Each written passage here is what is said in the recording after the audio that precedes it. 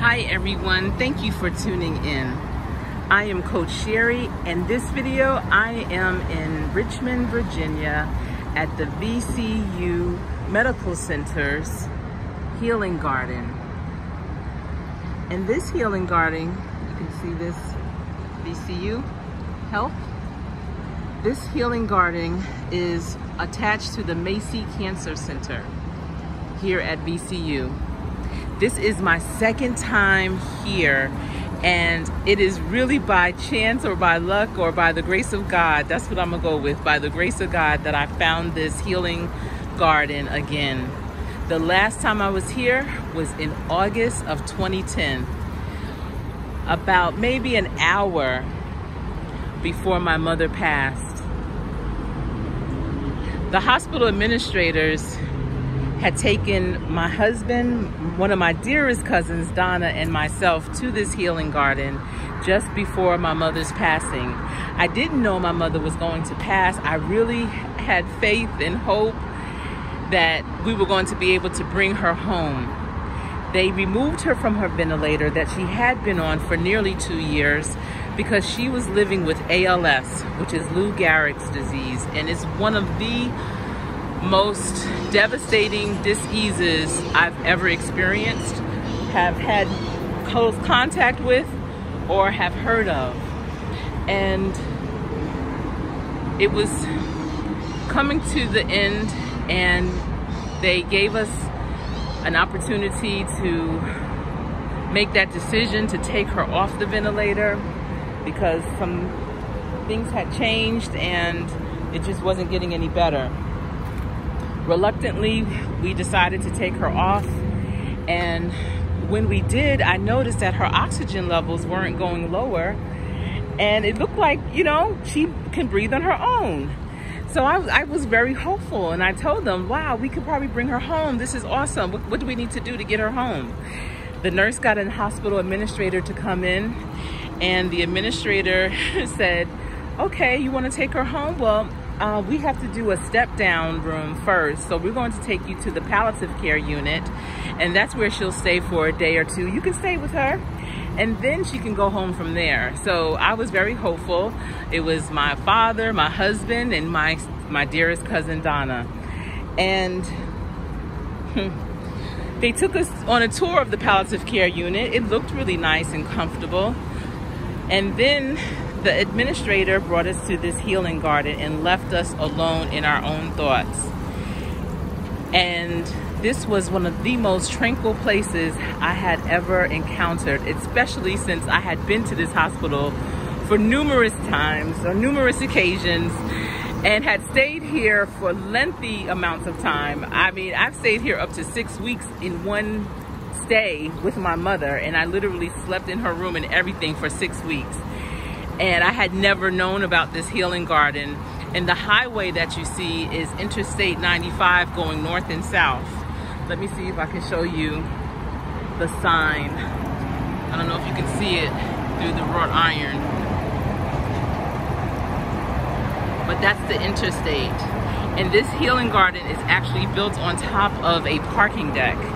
And I just think it is one of the most amazing things and great use of space definitely for sustainability but it's just a peaceful peaceful place.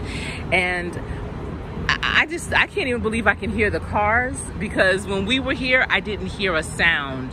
All we heard was the running water.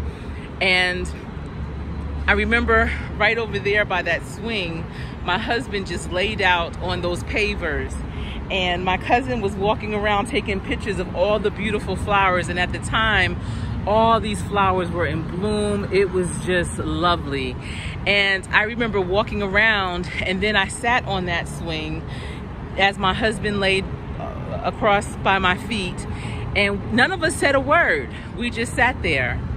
When we ended up going back to my mother's room after being here for some time we were so excited to share with my father because you know he was a florist about how beautiful this place was and we needed to bring him here and at that moment i looked up at my mother's oxygen levels and they had started to decrease and i knew that the time was limited so we gathered around my mother and just watched as her oxygen levels kept decreasing and kept decreasing. We held hands, and then it was the end. I really believe that the time I spent here in this healing garden helped prepare me for that. This healing garden was so peaceful for me, so tranquil, and it really balanced me out. Even as you can see, people are coming out of traffic, getting ready to go into traffic, rushing here, going there. It's AAU season, it's a Friday. They just probably got off of work or going to work. There's just so many variables and people are living their lives. But right here, in the midst of all of that, is this beautiful, beautiful space, this beautiful garden that was made to give everyone who encounters it, but most importantly, the patients, peace, and know that healing is possible. I'm here today with my dad, and he has been diagnosed with prostate cancer. He has no symptoms. He is feeling no pain not experiencing any challenges or changes. But you know how it is when they continuously probe and test and this and that and making sure other things will start to show up. So his kidney, one of his kidneys is being compromised and so they have to do a procedure on him today. And that is why I'm here waiting until I get the call from the nurses that I can go into his recovery room. We're going to be here for another day and I stumbled upon this. I went to get something to eat. We've been here since the, since the morning. I've been working on all day, all afternoon, all morning. I left Charlotte at 4.30 in the morning, got here, took him and set up my office in his room and had so much work to do. This is a busy time of year for me for many reasons. You know, it's the end of the fiscal year and family stuff. My daughter's birthday was yesterday. She turned 22 and we had a dinner celebration that was wonderful. You know, just trying to be the mother, the wife, the friend, the employer, the the confidant, the mentor, the coach, and the person, the best person that I can be for me first as well as others and just living my purpose as God has it planned taking my assignment seriously.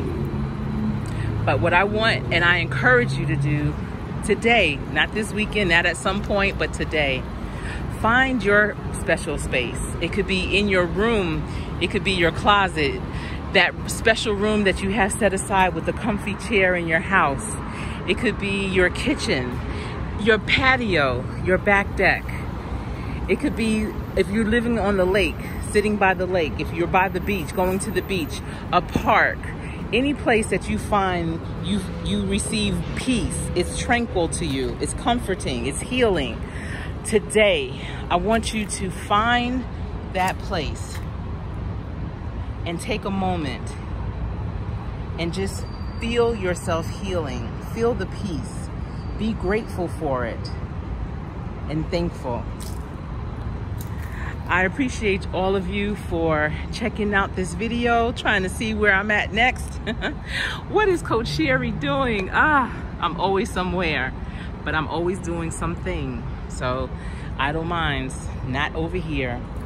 But I appreciate you for checking me out. If you've ever been to this healing garden in Richmond, Virginia at the VCU Medical Center, please leave a comment down below and let me know when were you here and what were your thoughts? Did you feel that it was a special place just like I do? Oh, I appreciate you all so much for tuning in. You know what? This has been real talk and real life. And I am Coach Sherri, and it's been my pleasure. Until we speak again, stay safe.